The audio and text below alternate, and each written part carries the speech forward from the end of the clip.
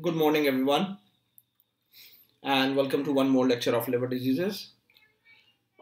In the previous lecture, we had done um, trauma of the liver, and in this lecture, lecture, what I we will be doing is the we'll talk about the liver abscess and tumors.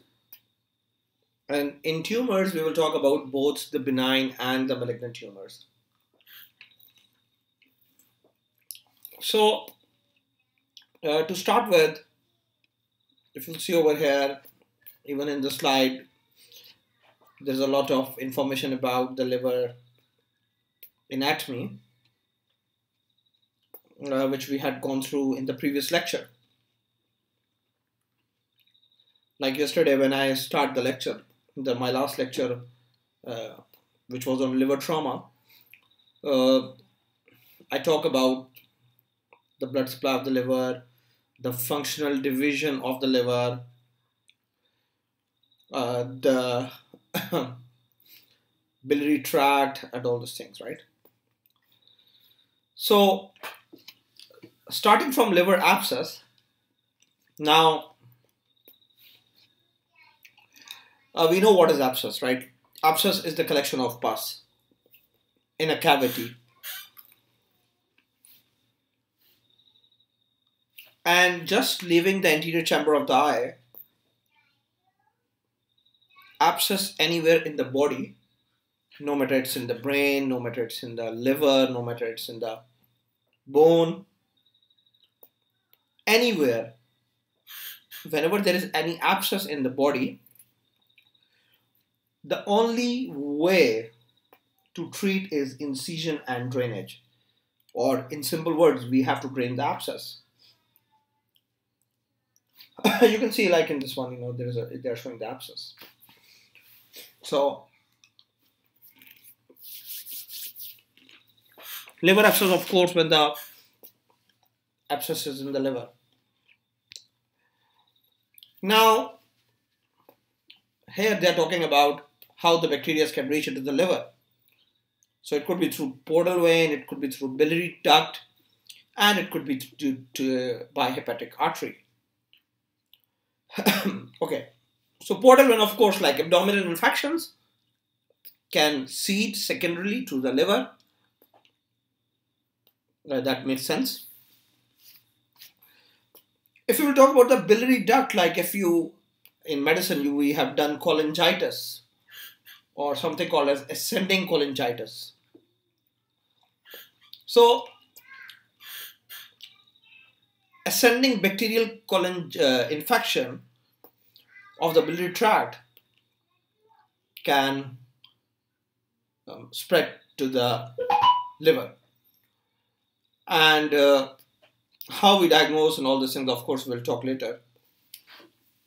And the third thing is hepatic artery. Uh, like any infection in the blood can reach the liver through the through the hepatic artery, right?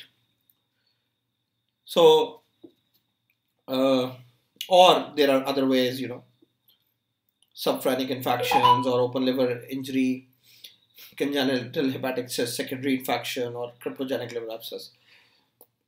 And the characteristics are like it could be single, it could be in the right lobe, left lobe, it could be multilocular, like, or you can say the classification, how we can classify. Okay, so now, whenever there is any abscess in the liver, uh, it will it can present um, um, it can present clinically um, of course like first of all fever with chills and rigors and there could be pain in the upper right upper quadrant and the pain can be a dull type of pain. Uh, the pain could be referred to the right shoulder or, or back and constitutional symptoms like systemic symptoms. Nausea vomiting loss of appetite and fatigue which are which are the symptoms of any infection in the body. Okay. And whenever we go for the physical examination of course one of the two of the things which we can found one is uh, you can you can get hepatomegaly or you can found tenderness in that area.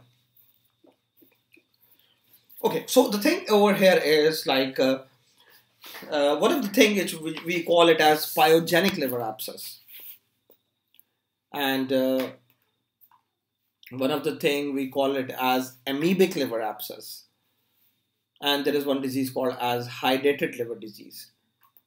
Now, uh, all the three, like uh, okay, uh,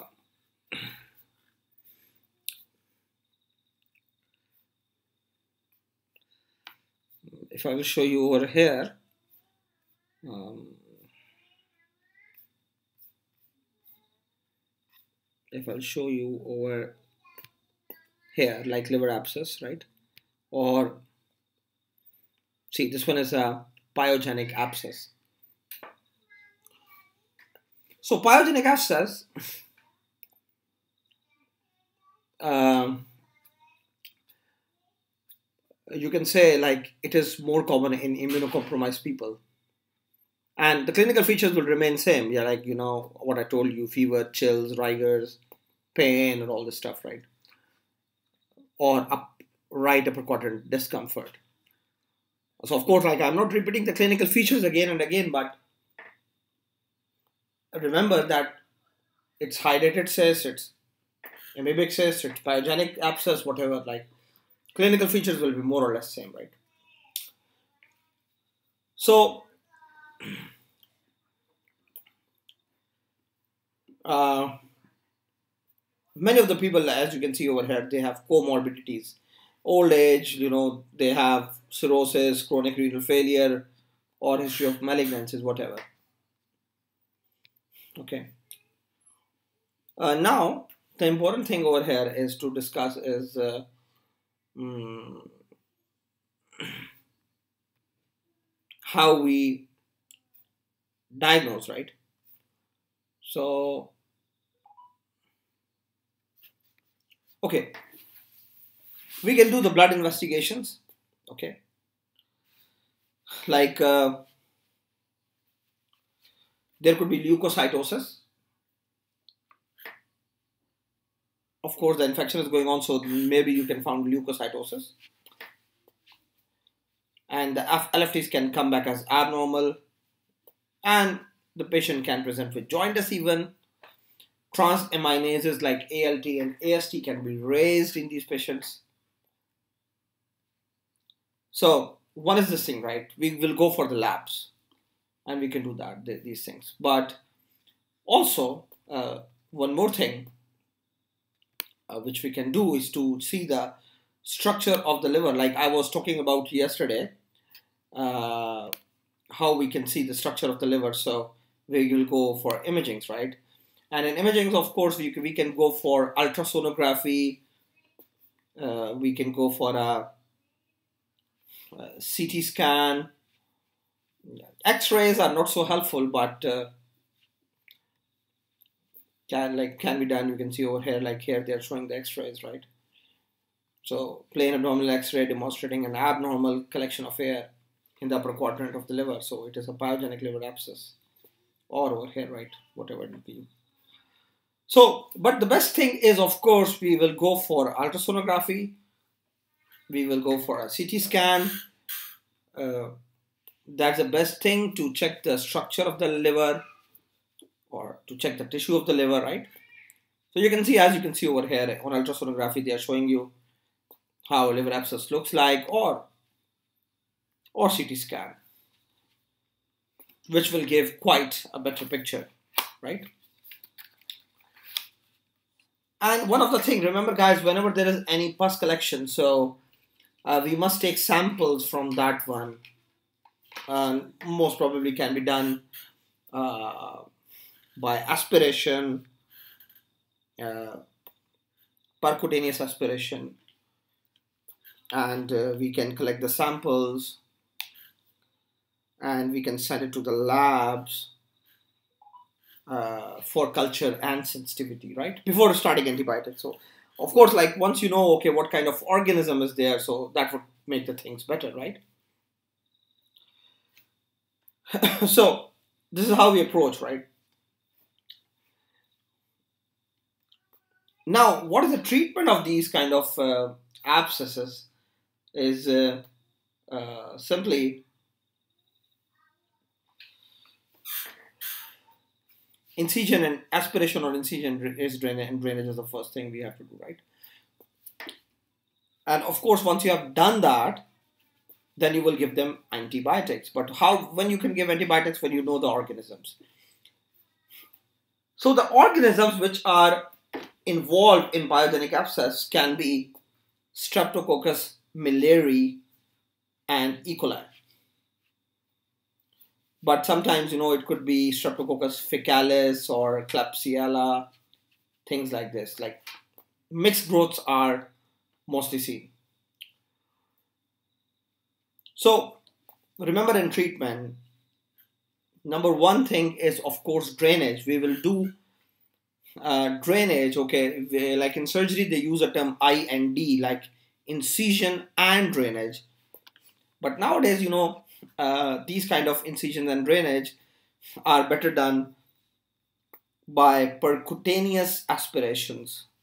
Okay, like from the skin, they can uh, under look you can see over here this is the ultrasound probe and this one is a syringe so this ultrasound will guide the needle uh, to the uh, collection of the pus and then you know that could be aspirated taken out right? So uh, you can see over here they they reached that site right? Um, so this thing. And of course like ultrasound guided aspiration can be done or uh, uh, whatever like the, the point is to drain that right and after that after that of course we will choose the antibiotics so once we know the name of the organism of course uh, penicillins can be given with metronidazole uh, because you know E. coli and so uh, basically you know uh, most of the time because the mixed growths are seen so the best combination is penicillins with aminoglycosides uh, with uh, metronidazole or uh, you can say you can use in penicillin allergic people, you can use other antibiotics like uh, fluoroquinolones or macrolides, antibiotics like this. But uh, a very good combination is basically starting the patient on third generation cephalosporins with uh, metronidazole. Uh, that is the treatment which is given to these patients. So this is one of the thing, and uh, after that, one of the thing is called as amoebic abscess. Now, amoebic abscess, uh, you know the name of that organism that is called as Entamoeba histolytica, and this is the, this uh, uh, parasite is basically have worldwide distribution, and uh, many people uh, they get this infection they present with um, diarrhea, chronic type of diarrhea. And simply that thing can go in the liver and can cause, can form a amoebic cyst.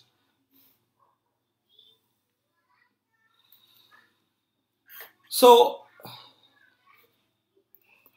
this is very common, right?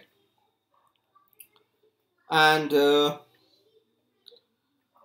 uh, I have one lecture in parasitology about all these things, you know, histolytica. Uh, now, the, the important thing to remember in this one, guys, like, is uh, uh simply uh, uh, anyone who have this amoebic cyst, you know, we start them on. this is like the the the uh, people how they present like see percentage of people who present with abdominal pain fever abdominal tenderness and things like this. No need to remember like the features clinical features remain somehow same. Even the diagnostic things are is the same like ultrasonography or uh, CT scanning plus other labs which we discuss in pyogenic liver abscess, you know, they can be done. Okay, so um, um, you can see over here,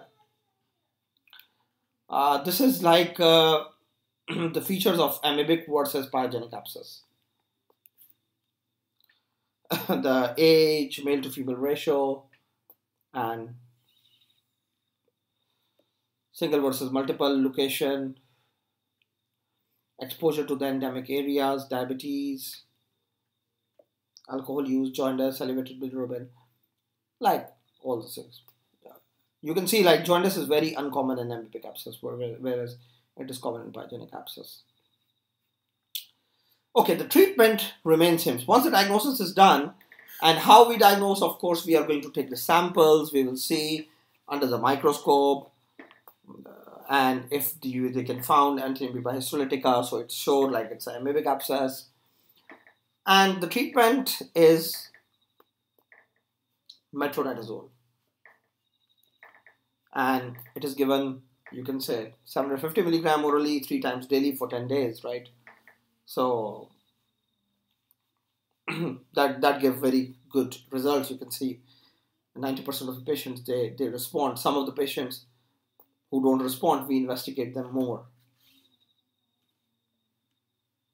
So this is how it is done.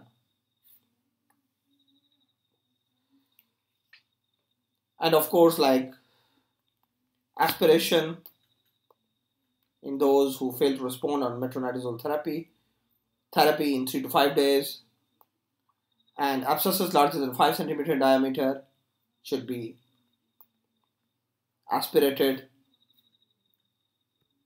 okay and of course like if we will not treat you know they can rupture they can cause compression of the inferior vena cava. And even they can do, they can the, the patients may have brain abscess. Because the blood from the liver will go to the heart and from heart it can practically go anywhere. So that's why. So this thing one of the thing is hydatid liver disease as well but uh, uh, that is caused by tapeworm echinococcus granulosus and uh, that would be treated in the same way. How we discussed like we will do same investigations same structural uh, assessment of the liver and the same treatment is there. But uh, remember like whenever it is caused by parasites, so the best treatment is to give anti-helminths or you can say anti-parasitic drugs like albendazole, mebendazole, drugs like this.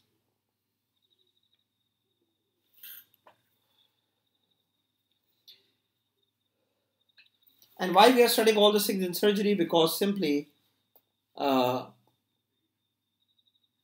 surgery is done in the cases when the things cannot be controlled by medications, right? Okay. So that's pretty much about uh, liver abscess, and now we will go for um, tumors of the liver okay so sorry like this one is like I'm opening a wrong slide by the way. I must open this one first right? Okay.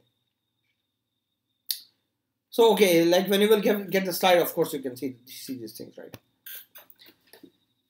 Uh, talking about the liver tumors you know uh, of course tumors whenever we study um, there could be benign or malignant, and malignant can be primary or secondary. Of course, secondary malignant tumors means what? Like those who came by metastasis, right? So, of course, we are not concerned about this one because uh, any type of carcinoma can give metastatic tumors, right? Or can metastasize to, to liver. So our main emphasis will be on primary liver tumor or primary liver cancer, right? One thing is this one, and the other thing is the benign tumors. Now, if I will talk about the benign and the malignant tumors, you know, benign tumors are not so common. And uh, not so common means like they are rare or malignant ones are most common, simply. So now,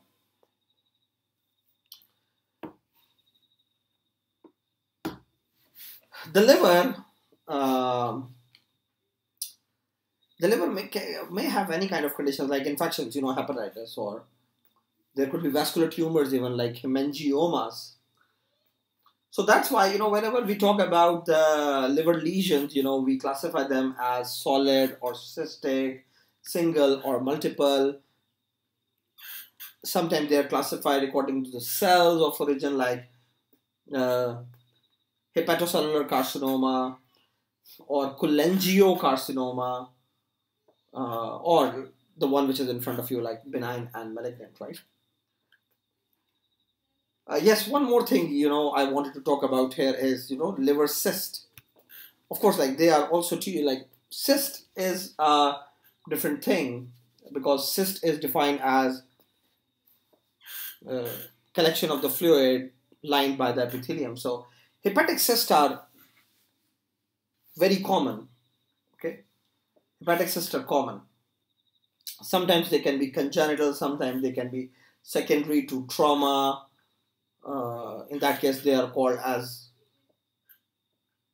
seroma or biloma, or can be result due to as a result of infections. Okay, so cysts are quite common. So. Uh, Uh, to start with, uh, by the way, uh, you know, uh, you can like I told you yesterday that you can you can learn about what is a rooftop incision, right? So basically, you know, liver can be approached surgically by by rooftop or transverse abdominal incisions, right? Because they they give a good approach to the liver. Okay, so no matter if you are doing a surgery for a cyst, for a benign tumor, for a malignant tumor, or for an abscess, whatever, if abscess require an open surgery, then we use these kind of incisions. And uh, to des- describe all the procedure is not possible, and it's better to watch a movie in which they are talking about like what they are doing. Either they are uh, where is falciform ligament and whereas inferior vena cava and all the things, right? So that would be easy, easy to remember things. So uh, simply, um, liver surgeries are done for the, these. And whenever, whenever they do uh, liver surgeries, by the way, what they do is like either they have to take out just that mass, number one. Number second, either they have to uh, remove a lobe or either they have to remove a segment or either they have to remove a functional unit of the liver. Uh, that completely uh, depends on uh, you can say the surgeon's uh, decision right? So the, the, the, the surgeons decide what could be what best could be done in that case. Okay okay. Uh,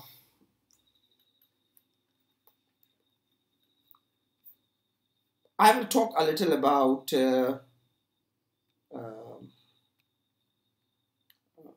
benign tumors.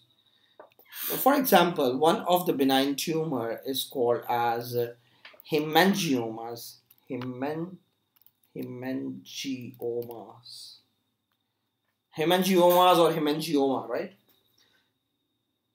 So hemangiomas are the most common solid benign masses. Okay. Now, as the name shows, hemangioma, so angio means vessel, right? And he means blood. So hemangiomas, like the thing is clear.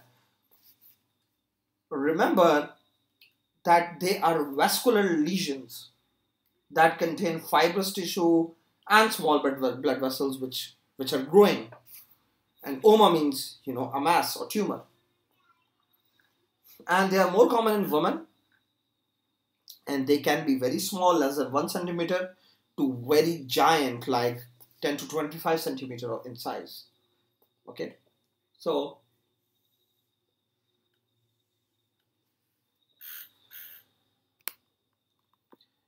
now, uh, if you will think logically, right? And we are talking about benign tumor. We are talking about hemangioma. We are talking about a tumor which is basically a tumor formed of blood vessels, right? And as it is benign, it is it does it does not uh, you can say uh, metastasize yes, it can grow in size. So what, what could be the clinical features in this case? Simply the clinical features will be um, same clinical features of pyogenic or uh, like abscess, re, uh, remove the signs and symptoms of infection. Like, of course, there will be no fever, but yes, there will be pain. Okay, and if the tumor will increase in size, um, it causes pressure. It can rupture, it can bleed, so depending on what's the size of the tumor, either it is bleeding or not, the symptoms will be according to that. And the, the thing is, what how we diagnose them, again, they do something called as biphasic CT scan. Okay, they, they do a biphasic CT scan or a MRI simply and they like on those they can see they can look at the locations of the tumor and then they can plan for the surgery. Okay so this is like uh, uh, what is done in that case. So other than hemangiomas um, uh, there could be they may, they may have uh, adenomas. Okay? Like one of the uh, primary uh, tumors of the liver, uh, or you can say benign primary, right, uh, could be adenomas. Now, this is so disturbing, by the way. I'm not good in PPT things. Uh, okay, so Now, I told you hemangiomas are common. Adenomas are not so common, okay? But they are solid tumors, they are benign tumors, and they are mostly seen in young women, uh, around 20 to 40 years of age. So, and remember something which is seen only in females, uh, you know, it, is, it has some connection with the hormones. For example, adenomas is also more prevalent in the females who are who, who use oral contraceptives. And what oral, oral contraceptives have? Oral contraceptives contain estrogens. And using estrogens estrogens have a clear cut association with developing of hepatic or liver adenomas Okay, but it's not like this, like only those females get this thing which take oral contraceptive. Of course, some females they can also get it without the history of using contraceptives or estrogens. Of course, because estrogen is present in females anyways. So when we, uh, you know, like during surgery, how they look like, they are soft and their color is tan or light brown color. And uh, then of course we take the sample of them and we send it to the labs and they see it under the microscope. They see what are the shape of the cells what are the type of the cells. So mostly adenomas they lack bile duct glands they lack Kupffer cells. If you know you know Kupffer cells are present in the liver. And uh, these adenomas don't have lobules and they appear congested due to glycogen deposition. So simply like how to diagnose them again the same story. We will run the investigations to see the uh, structure of the liver like uh, a CT scan or MRIs, right? And simply uh, uh, hepatic adenomas they carry risk of rupture and that's the reason any patient who have uh, uh, who is diagnosed with adenoma sometimes they present with spontaneous intraperitoneal hemorrhage like they started bleeding. So uh, and some of the hepatic uh, adenomas can can change into hepatocellular carcinoma. This is one of the things to remember right? The treatment is simply surgical resection. So uh,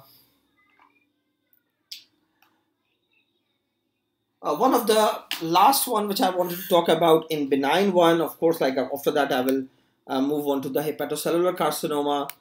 Uh, uh, like the primary one is uh, like the benign one. Last one is focal nodular hyperplasia. now to simply tell you what is this one. This is also solid. It's a benign lesion and this is also common in females. Remember, all these tumors are more common in females. And this one is also linked to estrogen usage. But association with estrogen, adenomas are more famous than this one, or they have more strong association than this one. So simply, of course, like uh, we will, when we will take the samples and we will send to the lab and then they will see under the microscope then we could differentiate between either it's a focal nodular hyperplasia uh, or either it's this one. Okay, and you know one of the things to remember in these two is what, what like any female who's diagnosed with adenomas or focal nodular hyperplasia, and they are taking oral contraceptive pills, we stop them. Okay. So that's all. Okay. Uh, maybe in other surgical in surgery books, maybe you will found a lot of other primary tumors, um, um, like but of course they are very rare. No need to go into much detail of them okay? Uh, rather just make like the, the concepts right? Okay so now uh, I'm going to uh, uh talk about hepatocellular carcinoma okay uh, which is the primary liver cancer right so, malignant tumors in the liver, as I told you, can be classified as primary, which originate from the liver, or secondary, or metastatic, which comes from other places. And uh, primary one is called as hepatocellular carcinomas or hepatonomas, but they are more commonly called as hepatocellular carcinomas. And when the cancers arises from the bile ducts, so it is called as cholangiocarcinoma. So uh, we will discuss a little about HCC. Okay, in this slide you can see like uh, they have given some um, epidemiological data about this one and also in China. Okay, what is the condition? Okay. Uh, now, you know, in many of the MCQs questions, they, they, they do ask some questions. There are some pet questions which come from this topic. Uh, I will tell you when uh, I will talk, about them. So, you know, one of the questions which they usually ask is uh, a major risk factor for hepatocellular carcinoma is, is in the patients who have hepatitis B and C. Also, people who use alcohol for a long period of time, or the, those who develop alcoholic cirrhosis, then hemochromatosis, in which like there is abnormal iron metabolism and people who are using anabolic steroids and aflatoxin. So now uh, it's not like this. Like anyone who will get hepatitis B or C, they will they definitely will develop this one. But of course, many of these patients they can develop, and it is more associated with hepatitis B rather than C. Okay.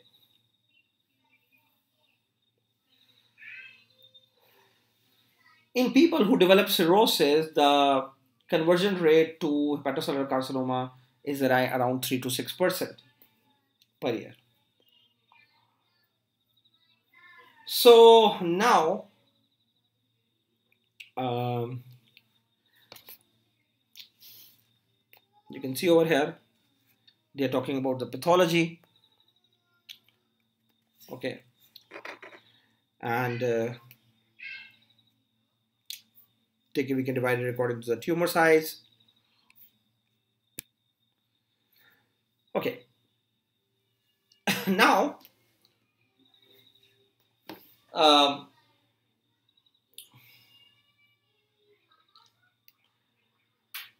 the thing is quite simple, by the way. Um, I'm just thinking, like, I teach you any carcinoma until yet or not, but uh, there's a there's a way to to remember carcinomas. By the way, like, not the way to remember carcinomas, like uh, how we proceed with the carcinoma patient. Simply uh, we go for investigations to diagnose first, then there is investigation to confirm, then there is investigations to stage them, and then there could be uh, things like what there are a few things like uh, according to staging we decide either surgery can be done or not, or we must uh, give them chemotherapy or radiotherapy or hormonal therapy, whatever, right? Anyhow, uh, uh, many of the patients they are middle age and they present with these symptoms okay?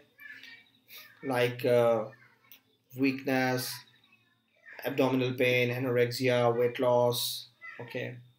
Sometimes jaundice ascites and all those things right? So a lot of things are written right? But of course depending on the condition of the liver uh, uh, they can present with any of these right? Okay so now, um, the important thing to tell you about this one is once we diagnose anyone with uh, hepatocellular carcinoma, and how we diagnose, of course, patient presented with uh, um, weight loss, malaise, jaundice, um, anorexia, they have the history of hepatitis B and C, and what happened the doctors run many investigations. They get this imaging studies like ct scan and mri and they found that okay they have some mass in their liver. And once they have found the mass in the liver what they are going to do? They are going to send that mass for the histopathology the histopathology guy confirm okay it's is hepatocellular carcinoma then we will do the staging. And TNM staging is used T for tumor and for nodes and for metastasis. So if metastasis is present, see M1, otherwise M0. If regional lymph nodes are involved, N1. Uh, if they, they are not involved, N0. And according to tumor size, we stage them as T1, T2, T3, and T4, right? And uh, one of the things which we uh, do use for screening purposes in these patients is basically uh, there is something called as AFP or alpha fetoprotein, and we can measure it in the blood and in the patients who have the, who have this thing is raised, they may have hepatocellular carcinoma, right? So again, these photos are for staging, like stage one, see less than two centimeter tumor. You can see over here, less than two centimeters T1 this is stage 2. Of course, the tumor size is increased. Okay. Then they give you the example of T3 and T4. Right.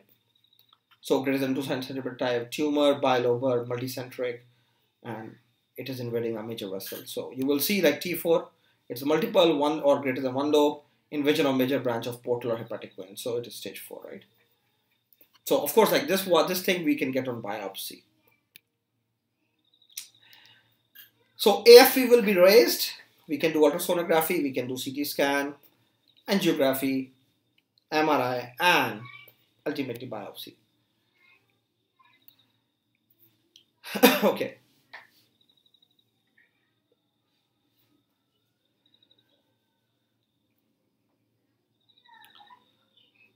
Uh, now, once you have run the investigations, you have diagnosed the patient with hepatocellular carcinoma what's the treatment this one see huge tumor compressing the inferior vena cava.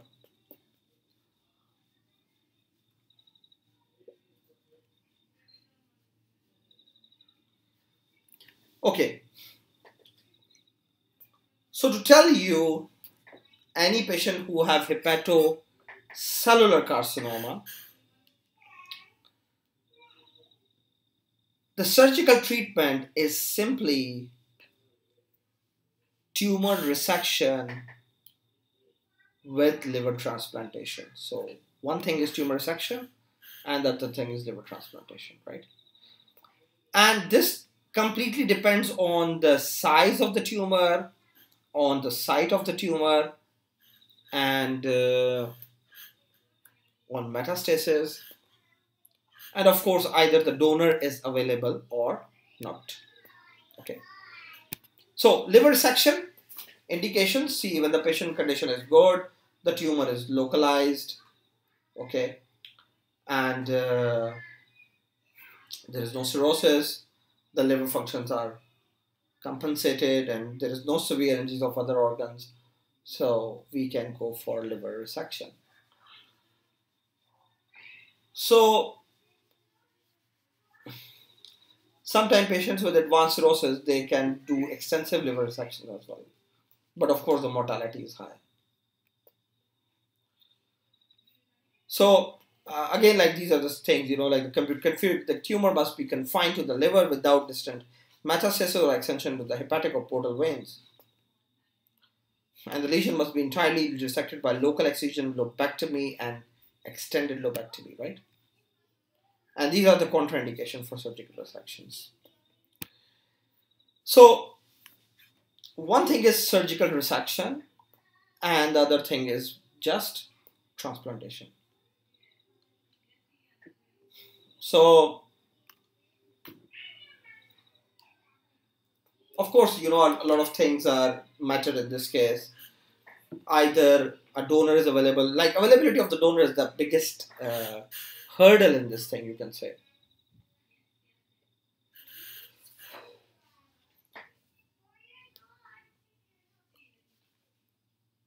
Surgically, whenever they remove a tumor, like if the patient is meeting all these criteria which I show you, then what they do is like they resect the tumor with one to two centimeter of the margins. Okay, in that case. Unresectable tumors, we use they use ligation or embolism of hepatic artery with or without chemotherapy. Okay, so this thing and uh, a Child-Pugh score, which I told you, is basically preoperative assessment of liver function, and then they decide like either they have to go for it or don't go for that. Okay, so I'll leave this thing. I don't think so. It will help you. Okay, there are other things which are available. Okay, liver transplantation is a big game. Okay, of course, like we have done transplantation, so you know what is that. Okay, and then followed by it is followed by the chemotherapy, systemic chemotherapy using 5-fluorouracil, and there are many other options as well. Or uh, there is something called as arterial chemoembolization. It is also called as TACE. It is trans-arterial uh, trans-arterial uh, chemoembolization. Okay, TACE. So through the artery, they give some chemicals to embolize that area. Liver cancer blood mostly from the hepatic artery, combined selective hepatic arterial injection of cancer, chemotherapeutic agents with embolization. Okay, and then uh, there is something called as PEA, which is percutaneous ethanol ablation, in which like percutaneously they give ethanol to ablate that area, destroy that area. And radiotherapy is used in some of the patients um, who have fair conditions, okay, without cirrhosis, jaundice, ascites, okay, all this one. So many of the radiotherapy agents can be used. This is ethanol injection, which I'm telling you, which is called as PEA, percutaneous ethanol ablation. Okay. Okay.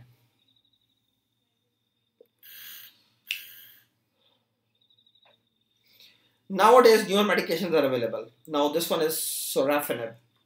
Sorafenib is a newer medication. You can read about that. It's very, very, very expensive. Okay, and it just increase a survival rate a little. You can see over here. This is placebo group and this is the sorafenib group. And secondary tumors, of course, they come from breast, lungs, pancreas, stomach, large intestine, kidney, ovaries, uterus.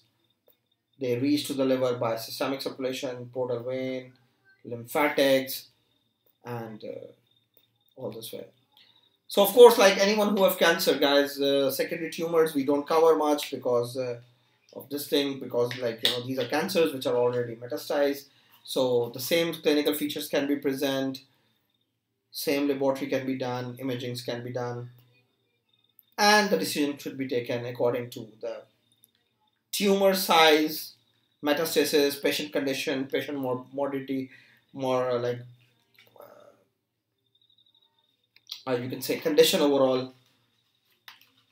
Because these patients you know they have some cancer so of course like their condition is all already you can say uh, not so good.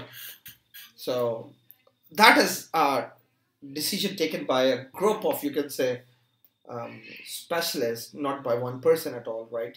So you can say it's a group uh, which take the condition which take this decision what is best for these, this patient right Okay, so we, uh, we have discussed this one, hepatic adenoma we have discussed. Uh, one of the tumor, uh, okay, we have discussed, this is like, again, one more slide uh, talking about the same things, guys. Now there is no difference. Uh, just like some of the tables are there, which I didn't show you, but you can go through them, right? Uh, you will not find anything new, but some tables will be new but with the same thing and things written like PEA, you can see over here, okay, which I already talked about, and TACE or thermal ablation, nitrogen ablation, all this stuff. Uh, one of the cancer is also called as cholangiocarcinoma, that is the uh, bile duct cancer, um, and cholangiocarcinoma, uh, when we will study gallbladder, uh, I'll talk a little about that also. Okay, so yes, so that's all about uh, this primary liver cancer. Okay, I hope you understand. And the cholangiocarcinoma is not so important, by the way. Uh, HCC is important. So I will see you in the next lecture, right? Bye.